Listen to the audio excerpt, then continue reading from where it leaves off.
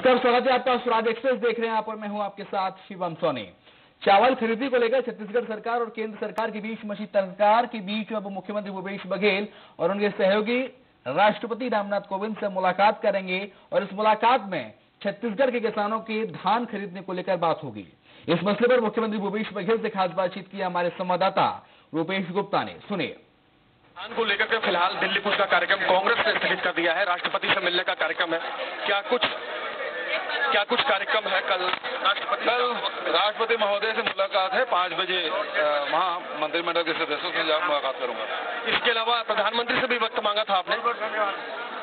प्रधानमंत्री से उनसे भी समय मांगा है लेकिन वो पाँच कृषि देश से बाहर है इसलिए कृषि मंत्री जी से मुलाकात होगी।